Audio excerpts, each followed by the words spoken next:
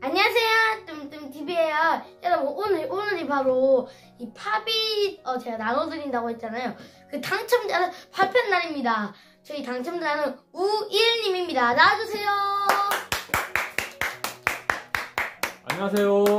네, 이걸 받으신 소감이 어떠신가요? 아, 네, 이거 전혀 생각하지도 못했는데 우리 네. 범tum 군한테 이런 선물 받게 돼서 올 한 해도 정말 잘 될 것 같고 네, 좋은 일만 생길 것 같아서 너무 감사히 잘 받겠습니다. 네 진심으로 축하드립니다. 와.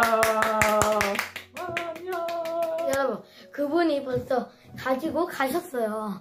저희가 준비한 영상 여기까지로 마무리하겠습니다.